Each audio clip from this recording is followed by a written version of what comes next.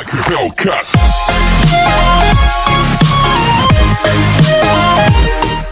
Hi guys, welcome to our YouTube channel guys. Ano akong book guys. Nanabog ko diri sa isa ka hotel guys. So, lamig yung nablihon ni no.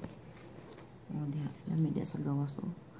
Ano ni siya kanang bintana guys. Mm, luspad na lang. Luspad na lang ta. Namiss na jud ako ang Davao. Mm. This, this is it Davao, Philippines. So, ang feel like yun ako ang init guys. Hmm. Alhamdulillah Rabbil Alamin Subhanallah akbar la ilaha. Nanay gyud guys, di ba? So karon no, mo siya ang kwarto na ako diri sa Davao. So, tis na pun ko guys. Ikadong sobtis sa mali. Sobtis de sobtis. Diri na lang pun ko nag oh mo na siya mo nang kuan diri mo na siya ang mo ning kwarto diri guys. Mo nang kwarto. Mm, diba? Mm, ano na siya. Kayo. Kapoy kasi. Baga, kapoy din.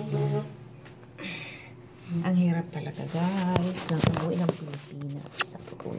It's very difficult guys. Pagkain. Kasi kapoy ko sa airport gate.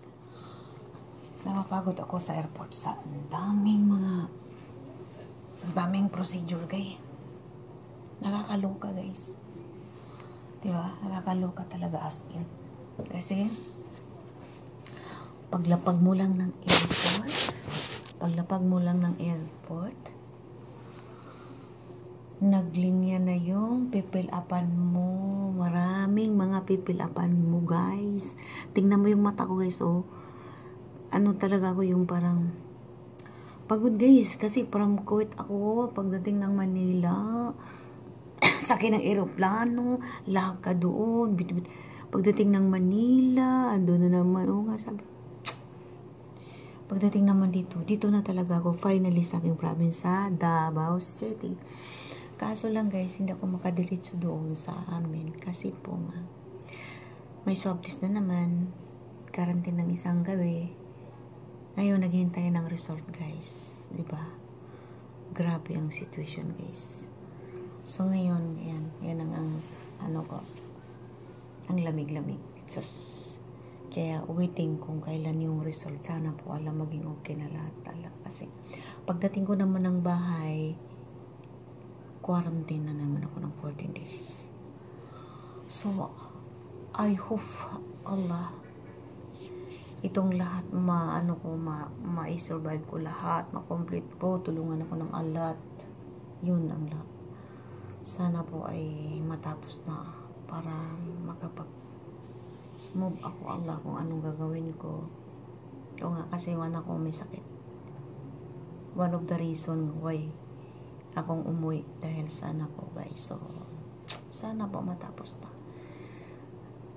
Ang hirap no? Diba kasi ang OFW ngayon gin wala takot ang mga tao yun ang totoo takot sila guys as in takot nakakaloka ba? Mm, so, yun lang guys, i-share ko sa inyo talaga ang ating buhay. Yung pagbalik ng Pilipinas, napakahirap guys. As in, hirap, mahirap talaga ang buhay ni Ara Adam 28. Diba guys? Sa Kuwait, mahirap. Pagdating din mahirap. Hindi naman dito, ang, ang ranas ko nahirap dito guys kasi ang daming procedure. Okay i-follow natin ang rules kasi ito talagang protocol ngayon kahit saan ka mapunta, di ba? So, thank you guys. Thank you for watching. Sa bago pa dito sa akong YouTube channel, paki-like and subscribe na lang. Aradam28 guys. Thank you. Bye-bye. See you next video. Wow! Yeah!